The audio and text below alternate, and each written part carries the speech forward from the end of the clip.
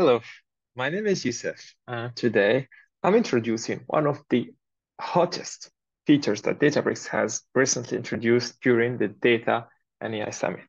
This feature is the Databricks Assistant. It works as an AI-based companion pair programmer to make you more efficient as you create notebooks and queries. It can help you rapidly answer questions by generating, optimizing, completing, fixing your code as well. And how do I enable Databricks Assistant? We just need to go to the Accounts console, click on Settings, Feature Enablement, and then enable third-party services for AI-assistive features. Why should I do this? Because Databricks Assistant may use third-party services to provide response, including Azure OpenAI and the OpenAI API. These services are subject to their respective data management policies. And data sent to these services is automatically purged within 30 days and is not used for any model training. And something very, very important, Databricks Assistant does not automatically execute code on your behalf and make sure uh, to review the AI generated code prior to executing it. So let's go back to the Databricks Assistant. So just need to go to your notebook and click on assistant.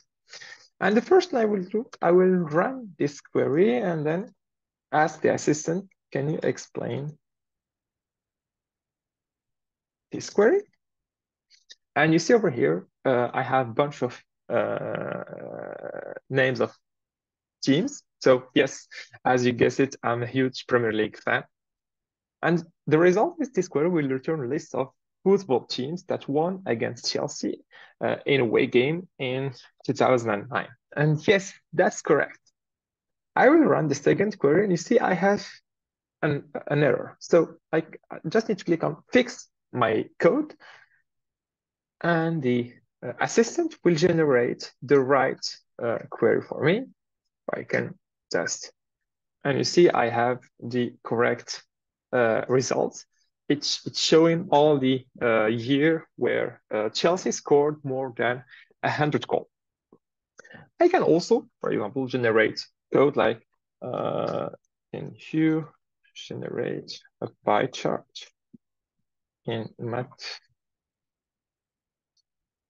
matplotlib of the percent win lose and draw for Chelsea in 2009.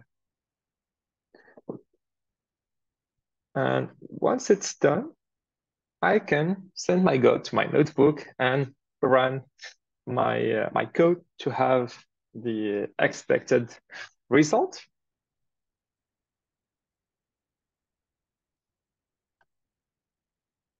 So you see, the percent win is 71%, throw 13%, and the loss is 15%. Of course, I can also use the assistant to think, uh, to ask questions for documentation. How can I declare a volume in Unity catalog? I can also ask some questions about how uh, to uh, optimize uh, how to optimize code. And something very, very important is uh, the Databricks Assistant sends code and metadata to the mods on each API request. So this helps return more relevant results for your data. So it can be like favorite tables, previous questions, table, table and column names and descriptions, and code queries in the current cell. Of course, uh, it only reads the table and the column name, not the data uh, not the data inside the table. And the Databricks assistant requests may include the context like the contents of the current cell or the query window.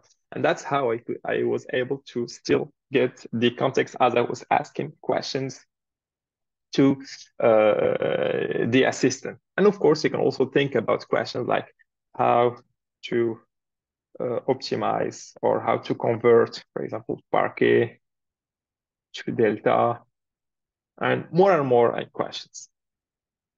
Thank you for uh, watching this video.